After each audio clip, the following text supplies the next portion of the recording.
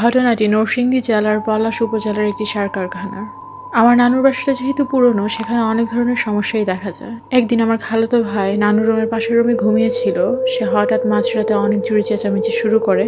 যখন সবাই ওই রুমে যায়, দেখে যে তার ভাই ফ্যানের দিকে তাকিয়ে তাকিয়ে কিছু তাড়ানোর চেষ্টা করছে। রুমের লাইট জ্বালানো হয় এবং তার ভাইকে ওই রুম থেকে বের করা হয়।